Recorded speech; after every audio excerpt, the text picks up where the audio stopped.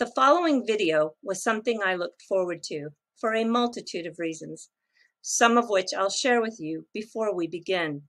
It's an interview with a CEO and co-founder that brings an enormous amount of experience to the space.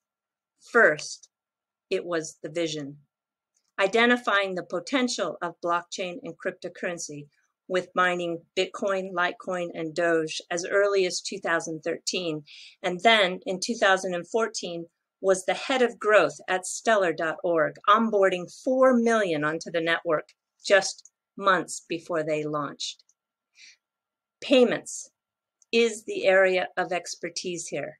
And Ripple, through their investment arm Xpring, invested in this team and IBM used their blockchain infrastructure to transform payments for WorldWire.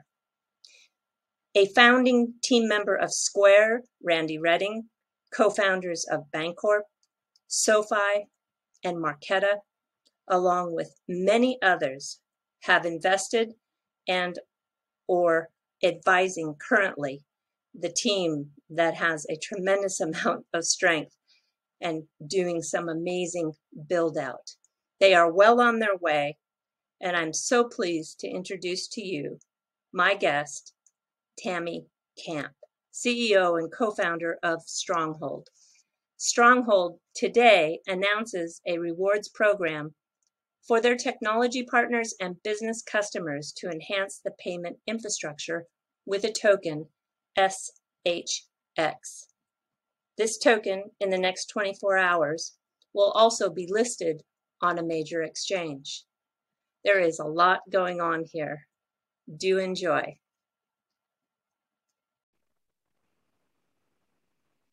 Hey, hey, everybody. It's Eri from Tokyo. This is your cryptocurrency update. Well, yeah, cryptocurrency update, but a little bit more special than that. I have Tammy Camp. She is the CEO of Stronghold. And I just can't wait to get in with her of what she is doing in this space.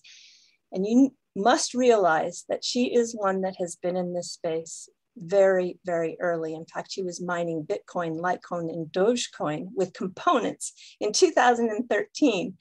Uh, I just told her before we hit the record button, that's one of the big things I'm most impressed with. And that is because she was in early and was able to really identify the value of this space. So I want to just ask her all these questions because she's in the middle of really building out her growth. She's in a growth stage that is really uh, significant. And you must also know something else. She was head of growth for Stellar in 2014. She was able to bring 4 million people onto the network, I think in a month. She'll tell me if I've got that right or not. But if we uh, just let her tell you about what she is doing. I had asked her first to explain what Stronghold is all about as if she was talking to someone who had absolutely no idea about blockchain or crypto.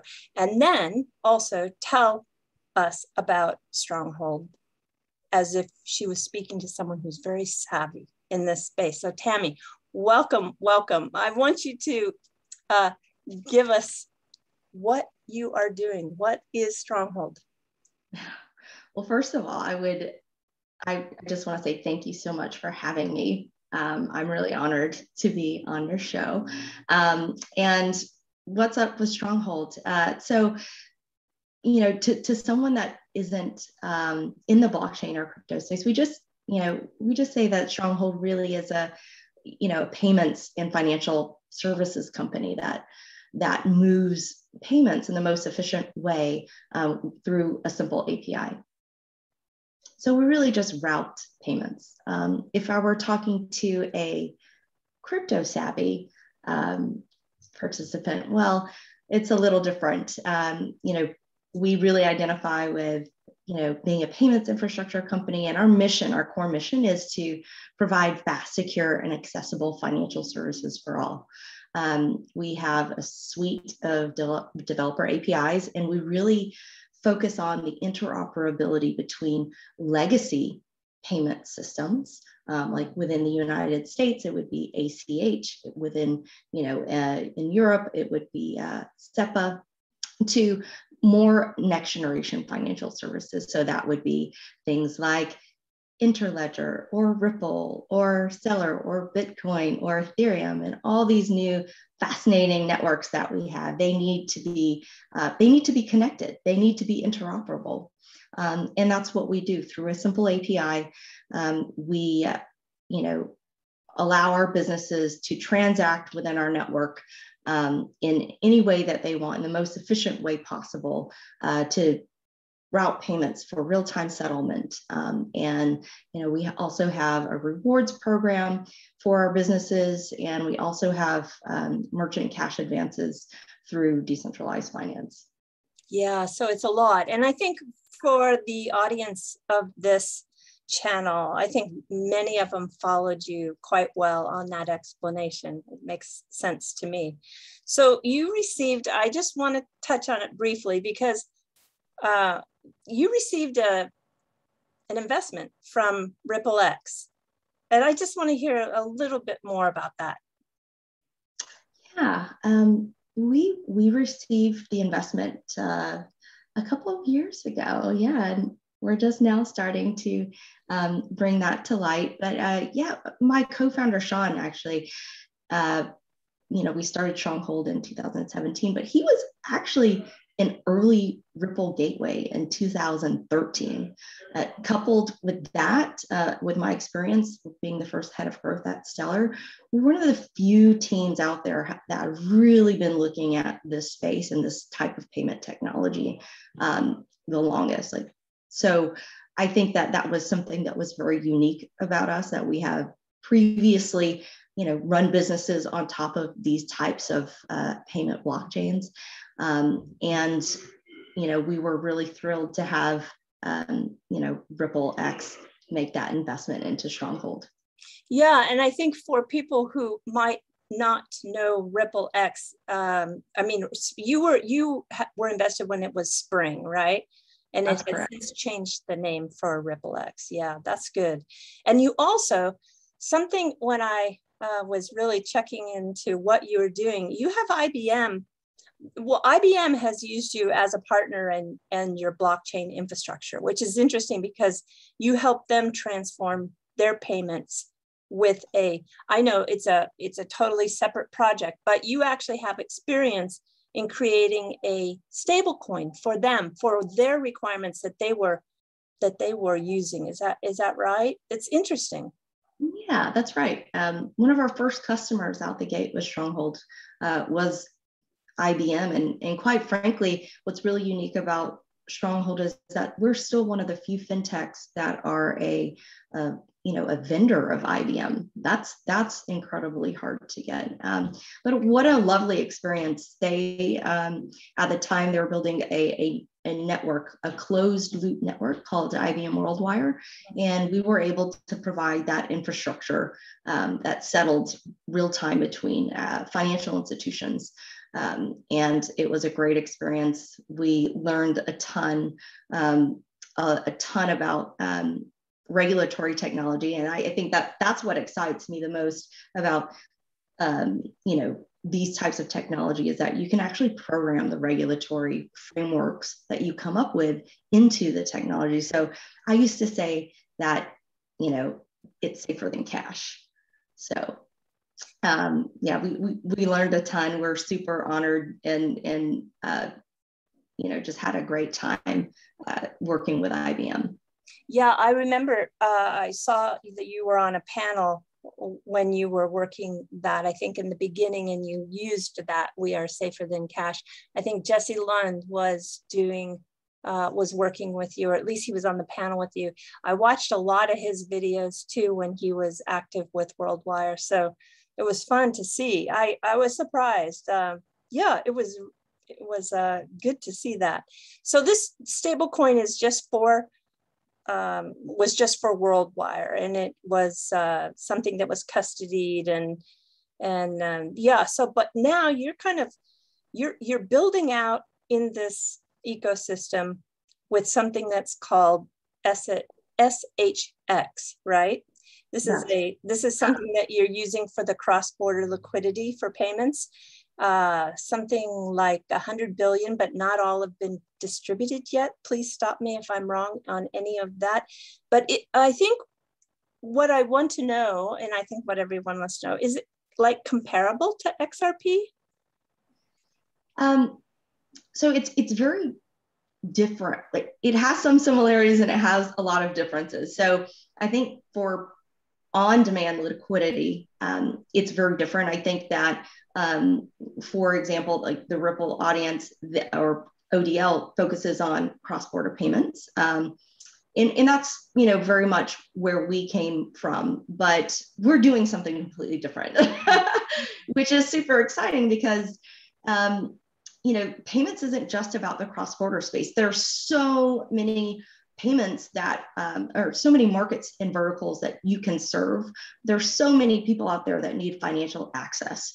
And um, and what we've done is we've actually you know created a network of businesses here within um, you know our ecosystem. Um, actually we have over 130 businesses using our payments platform. And we basically have introduced shx into the ecosystem as a method um, for rewards so anytime a business uses our payment processing which is traditional right we do traditional and we do uh, modern but anybody who uses our traditional payment uh, uh, rails like credit cards or ACH, when they use our payment method, they actually get rewarded in our token. So, you know, they're super excited about that.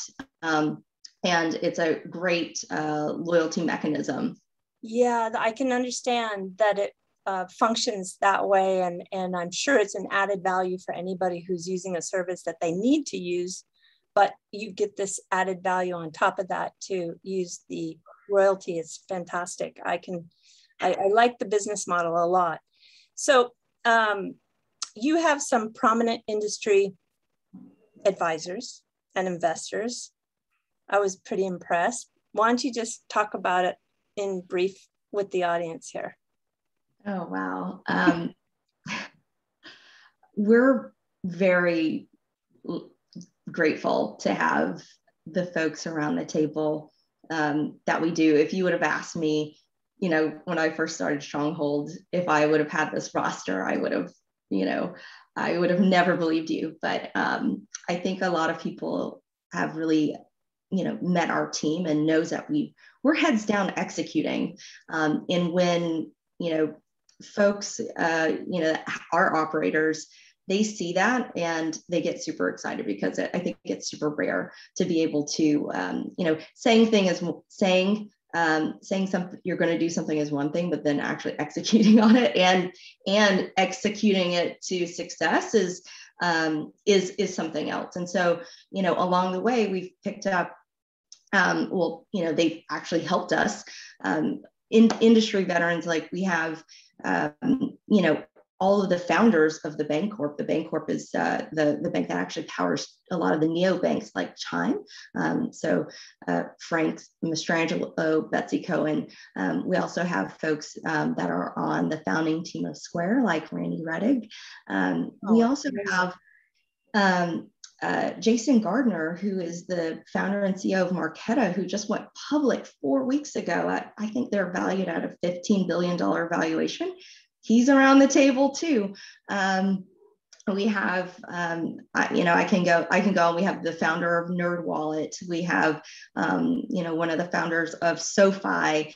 We have, um, you know, Rob Stavis, which is a, a, partner at Bessemer Venture Partners, uh, which is one of the oldest uh, venture partners, uh, venture funds uh, for over 100 year, 100 years. Um, and, and and lastly, you know, we, we even have um, Arthur Steinmetz, which was the former uh, chief investment officer at Oppenheimer Funds. He was there for over 30 years. So that's, yeah, that's pretty, pretty amazing. We're, we're, we're so lucky to have all the folks around the table because they really are helping us now as we start to scale the business.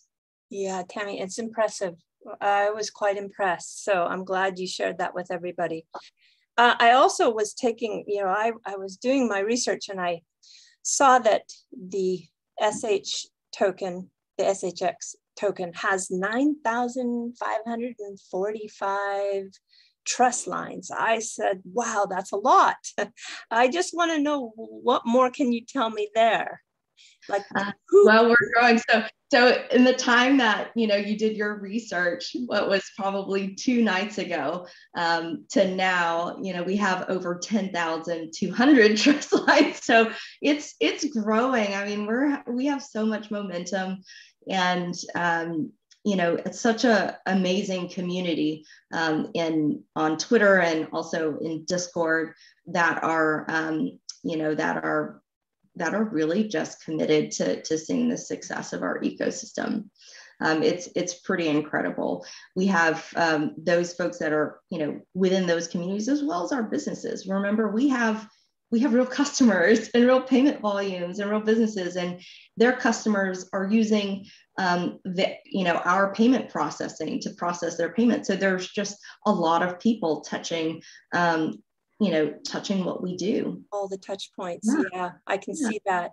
And i think that um, you know that kind of growth is just really shows that the company is um, probably going to be very very successful. You're you're you're out of these what i would call startup phase. You're in definitely to a solid growth phase right now. Yeah yeah. really good. Yeah. and so if i understand correctly um, since you started the rewards program and it's and it's based on the payment volumes that your customers do that they receive this uh, this SHX and they are basically a B to B to C, right? It, in many of the many of the workflows go from business to business and then to customer. That's right. Think of it like Stripe or think of it like Square. Um, um, just to make it kind of simple, uh, we can think of it like Square. So we're the, we're the payment processor. The payments are embedded into a point of sale. Um, those businesses that need the point of sale are our customers. But when a person goes into the store and they want to purchase um, a good like goods or service, a cup of coffee, you know, they need to swipe the card. So that is That's the retail side, right? And so um, it's this is payments, right? If you look at Visa, Mastercard, and you look at these models, they're you know three-party transaction model, four-party transaction models. This is very much what we're doing. We are building out a network um, that touches a lot of of people, right? And so um, yeah, it is a B to B to C model. Yeah, it's uh, that's yeah, just so I can wrap my head around it.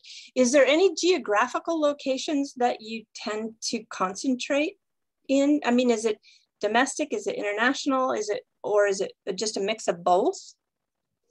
Um, for the payments, yeah, it's, you know, right now we're pretty heavily focused, um, you know, within uh, the United States, but we are expanding out um, of course, we want to expand out because there are so many problems to solve. Um, and, you know, for example, just e-commerce, e-commerce and, you know, what we've experienced in 2020 has made the world so much tighter and connected in some ways. Now I can, you know, actually one of my favorite stores it is like is um, a, a home goods store in Japan. So I can, yeah, I can buy. Is it Muji? Uh, no, it's uh, I, I don't want to say it because I think I'll butcher the name. I think it's oh. uh, Yamakaze. Uh, I don't know that one. Yeah, we there's a lot of really good ones here, and so um, they they probably uh, have have created a really successful international online presence. Yeah, but Muji is one that yeah, has I, brick and mortars, but there's a lot of good ones here. I do love Muji though. I'm a big, Muji fan for sure.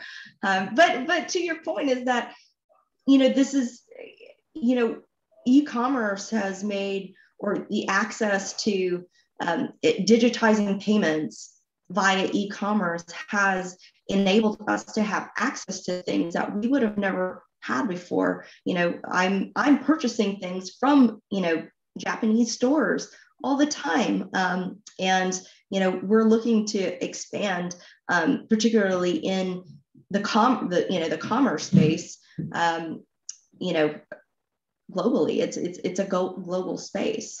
Yeah the the, uh, the current situation that the globe has gone through has really accelerated. Everybody knows this digital uh, way to transact, but it has um, been really good for blockchain and payments in particular. Yeah, yeah. That's, that's, right. And then, so back to your question of, you know, how are we different um, from ODL? Like, I think that, you know, ODL very much, you know, kind of focuses on, you know, cross border payments. Mm-hmm. I would say that we, like, Stronghold really focuses on commerce. Mm-hmm. Right? Yeah. If you think commerce, commerce is payments, commerce is rewards, pro- commerce is um, financial services for those businesses. Um, and, and that's, you know, what our suite of products supports. Yeah. So segments yeah. and sectors, but with interoperability in that's mind. Right. I, I think I, yeah, I'm getting it. Um, I had also wanted to know that the asset holders, uh, you're, you have a roadmap, I'm sure. And so you're you've got some goals. I would love to know like how many asset holders are you shooting for in the next i don't know one year or two? I'm just yeah. curious. Yeah so um, our goal is is i think it's pretty modest but you know I, we're going to have a million asset holders by 2023 um, we're growing you know three, 400% month over month point with our asset goals. I think we're probably going to get there sooner. Um, but it is, you know, our, one of our internal company goals to have, um, you know, a million SHX asset holders by 2023. Well, the fact that you did it with Stellar, you know, brought 4 million people on. What was the time frame you did that? Four months. It was it was in four within four months. Four months. Right. But onboarding a million people a month is like unbelievable, actually. yeah, I mean, I know a lot of pro- probably people. I you know um, when I was there, I was doing the the Facebook airdrops. Um, I don't know if you remember that, or I'm sure a lot of your viewers do if they have been around the space and that. And so um, you're you're looking at the person um, you know one of the, the, the folks on the team that was um, you know that was that was um, you know part of that. Yeah airdrops are still um, growing. It's really an interesting distribution model. So you probably are you going to do more drops with shx yeah, so um, you know, we actually incentivize a lot of activity within our ecosystem. So anytime, you know, the rewards program is very much it's it's very similar to that. So um, you know, for any business that kind of transacts through our um, our traditional payment um, processing, they actually get SHX, which is on the new rails. Um, and so, you know, everybody has to transact. So I, you know, that that is our new form of doing um, of doing airdrops, if you will. Um, we actually it, it is the rewards program. So we're we're just super excited about it because you know we've had we've had businesses literally stop their operations and say, wait, what? Uh, and then them just turn on you know our payment processing and then them operationalize that within you know within their business just so they can um, you know get access to um, to our rewards program the shx token. Yeah you're really responsible. If we look back in history you know just if we look back at what you're doing now 10 years from now you're really instrumental in providing uh, mass adoption to the digital space and I, I respect that a lot I really do. Yeah. Yeah, it's wonderful. I'm, I'm, I'd love to see this ecosystem grow in all those different verticals and, and ways to bring people in. So I just want to say thank you from someone in this space. Yeah, I just want to say thank you. We're going to make it happen. we are making it happen. Okay, so here's here's here's a question I want to ask you because I was uh, you know snooping around, and I see that you are possibly going to do some maybe financial services with DeFi, uh, but I also saw that you have helped Hugo at Flare because you've got Hugo's picture on your website and he is thanking you for solving a complex problem that he had. And I was like, what? What is this? And I really want to know what is this? And and and are you going to do maybe smart contracts on Flare? I mean, those that I know those are probably two questions that you probably won't want to give the dirty details to, but I want to know a little bit. Um, Hugo, what a amazing person. I guess I could say that I knew Hugo before he was famous. Yeah. So I'm happy about that. That's funny. Um, you know, we actually met uh, because Ripple's also an investor in Flare. Um, like Ripple is an investor in Stronghold. And so um, during the X-Spring days and some of those X-Spring developer summits, um, you know, we, you know, some of the, port- the portfolio companies got together and we got to spend a lot of time um, with Hugo right? Um, before Hugo was Hugo. Um, so he's always been building, you know, super bright, obviously charming, um, and, um, you know, great technologist. And so, uh, yeah, we, you know, again, we, we route payments. So we've, we've helped um, Hugo out with payments in the past.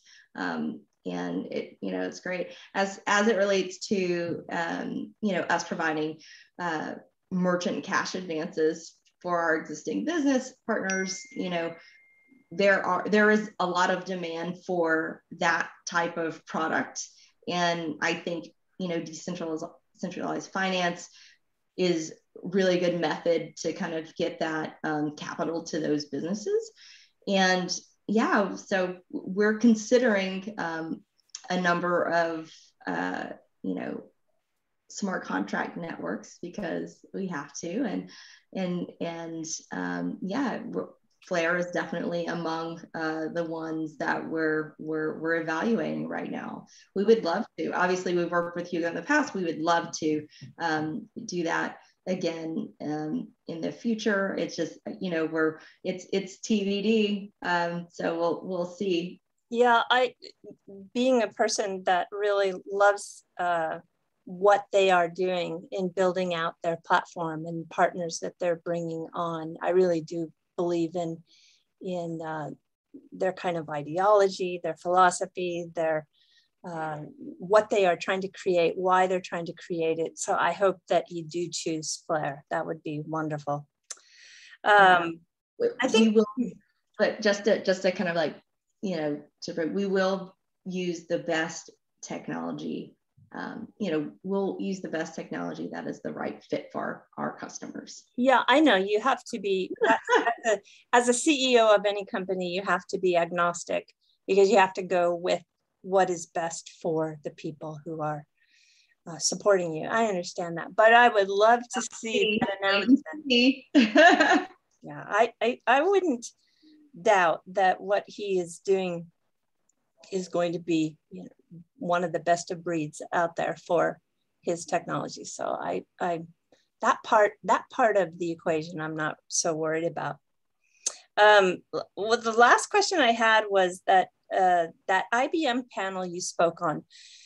It was interesting for me, and that was back in 2019 because you talked about at that time the biggest barrier was the regulatory side for I think, this whole space, you know, and we're really seeing that play out recently with the passing of the infrastructure bill in the United States. And also there's a new chairman. We've got Gensler in. And so we've got this kind of new mood and new narrative coming out. And I just want to know what your thoughts are today. I mean, do you feel a positive about it? Do you feel scared, negative, pessimistic? I, you know, I just, I'm really curious how you feel. I think, you know, probably similar to what I said on that panel. I, um, I think regulatory um, guidance is a good thing, right? It shows that we are maturing as an ecosystem, that people are paying attention enough to even care about you know what we're doing so it's that interesting that's that's true innovation right there um, and people just want more clarity it's not, you know, we're, the more clarity we have, the more, um, you know, we can operate within those guidelines. You know, I think that what I was probably mentioning in that panel is that, you know, there, there, there is a, a, lack of clarity, right? So, um, you know, people in, if, you know, in the case of some other larger organizations, you know, that are public companies, you can't move and you have a whole regulatory department, you can't move as quickly because it's unknown. Um, larger companies can adopt things uh, faster if they are known. Right. Um, so that's, um, you know, I, I, think it's a great thing uh, if, you know, more people and more, uh, you know, we have more regulatory um, folks coming around the table and and kind of giving um, guidance to the industry as a whole. Yeah, well, they are paying attention, and I do think that the uh, situation that happened with the infrastructure bill created a closer bond among a lot of uh, protocols and, and chains out there that realize that the education is really a big step and i think i think it's a team effort and I think, um, yeah, I, I think we're, I'm feeling positive, even though the unsure times are ahead. I, do, I agree with you. The fact that they're paying attention and the fact that regulatory clarity seems to be coming is going to help everybody's growth. Mm. Yeah. Yeah. Yeah. It'll well, allow us to adopt more. Yeah. Yeah. So, and, and it validates the, the, it validates too what these um, solutions are are bringing in terms of solving the issues with technology. So, okay, Tammy, just I, I, I went through all the questions that I had. Uh, please, please tell us maybe something that I forgot to ask or anything you, you want to be sure to let the audience know. Yeah. Um, well, one thing is that we did uh, release an updated SHX overview on our website last week. Mm. Um, so you, anyone of your viewers can go and um, and check it out there. Um, What's the URL? How do they find it? Stronghold.co slash slash SHX. Okay. Stronghold.co forward slash SHX. That's correct. Um, so the, that's there for everyone to see. We'd love feedback on it.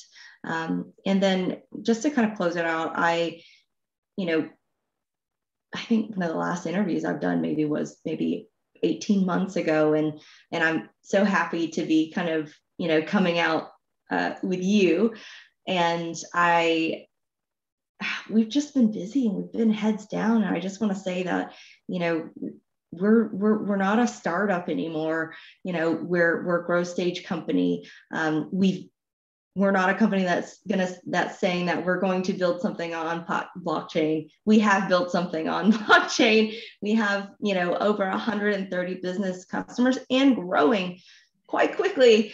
Um, and so we're just super excited to you know be a part you know it's just it's so exciting to see you know something go from startup phase to growth phase. And we're just um, you know super honored to uh, you know have such a, a wonderful community around us.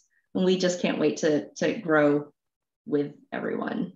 Yeah i'm going to be paying attention for sure of course. I mean and and i would hope that you come back onto the channel after uh, maybe six months to give us an update as to how things are going. I'd love to keep in touch with you and um, because, because obviously you are doing a lot of interesting things and you've and the just the growth we've seen in the last few days when you go from 9,500 trust lines to over 10,000 uh, in a matter of two days. It's it's those numbers. I, I want to see if you know where you're at a year from now too in terms of your uh, your user base and and the whole ecosystem itself are you active on twitter you said discord and twitter that's right that's right um, the company's url is at stronghold pay um, and my personal url is at uh, tammy camp on twitter tammy camp at camp, tammy camp on Twitter. Yeah, on Twitter. Yeah. Good, good, good. Well, I thank you so much for coming. I really do appreciate your time. Having us. Yeah, and and uh, I can't think of anything more than just congratulations and good luck and keep doing what you're doing. Come up for air once in a while because I know when when you're building you have a you, which is which is why you've been successful. You've really had this uh, ethic to get it done. But come up for air once in a while and say hi, and I'll see you again on the channel soon. Thank you so much, Judy. All right. Take care. Cheers.